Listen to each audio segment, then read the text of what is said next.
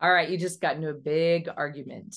We're going to do some tapping on it. And after you do this tapping and you really clear, you feel super neutral about whatever argument you have, I want you to look at the other video that's about what is at the root of your arguing.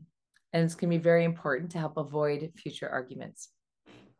So, just like always, think about the argument itself. If it was a big argument, like if it felt super scary, or if it lasted a really long time, or if it went on and on over days, over multiple subjects, you may need to break it down into smaller pieces. Like, for example, you may need to tap on the tone that the person used. You may need to tap on one phrase that the person used. Or you may be able to just wipe it all out with one tapping set or not one tapping session, but with a tapping session just on the argument overall. But remember that when something is very global, when it's very big, sometimes the tapping will not work if it's too big, right? Because it either emotionally overwhelms us or it doesn't do anything. So you may need to narrow it down to key points in the argument. All right. So think about the argument or a part of the argument. How do you feel about it right now? Rate that emotion from zero to 10. Where do you feel it in your body, if anywhere? And let's go. Side of the hand. Even though right now I'm feeling sad that we had that argument last night, I'm open to letting the sadness go. And even though right now I'm feeling sad that we had that argument last night, I'm open to letting this go. And even though right now I feel sad that we had that argument last night, I'm open to letting this go. Good. Top of the head. I'm feeling sad. In the eyes, I'm feeling sad. I'm feeling sad. Under the eyes, feeling sad. Under the nose, feeling sad. Under the mouth, I'm feeling sad. Under the collarbones, I'm feeling sad. Under the arms, I'm feeling sad. Good. Take a breath, reset. And notice when you think about that argument, what are you feeling right now? And you can repeat after me or use your own words. But let's get a little specific just for example's sake. Side of the hand. Even though right now I feel angry in my chest, that they use that tone. I hate it when they use that tone. Feels so condescending. And I'm open to letting this go. And even though right now I feel angry in my chest, that they used that tone with me in that argument. How dare they? I deserve to be treated with respect. And I accept I feel this way. And even though I feel angry in my chest, that they used that tone with me while we were arguing. So annoying.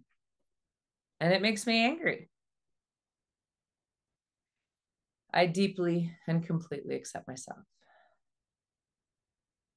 Good top of the head, feeling angry in my chest.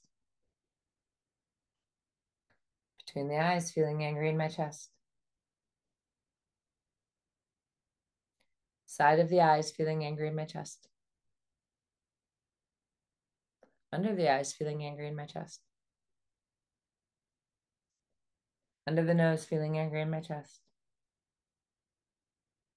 Under the mouth, feeling angry in my chest.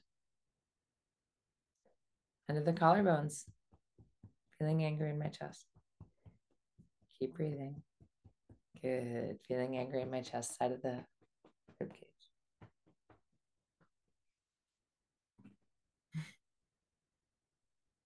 Good. So you can pause the video, keep tapping on the tone or the words they said or the argument itself until you get down to a three or under, preferably neutral. And then the next step take ownership of something you did in the argument. So, what was something that you said?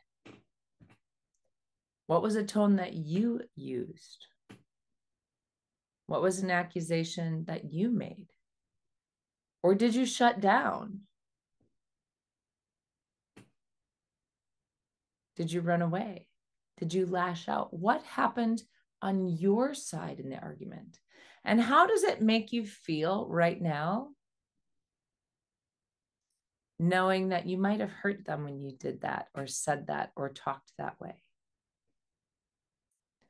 Or that it may have continued the argument when you could have turned around and walked away, or maybe refocused.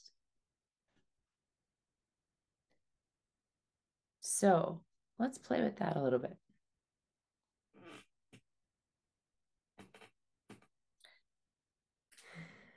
So even though I'm feeling a little bit guilty that I called him an insensitive jerk, and I feel the guilt in my gut, I'm open to letting this go. And even though I feel guilt in my gut, because I called him an insensitive jerk, I accept all the ways that I feel about it. And even though I feel guilt in my gut that I called them an insensitive jerk, I deeply and completely accept myself. And if you don't accept yourself, I'm open to letting this go, or I accept I feel this way, whatever works. Use your words.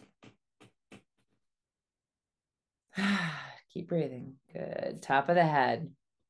Feeling this guilt in my gut. Twin the eyes, feeling this guilt in my gut. Side of the eyes, feeling this guilt in my gut.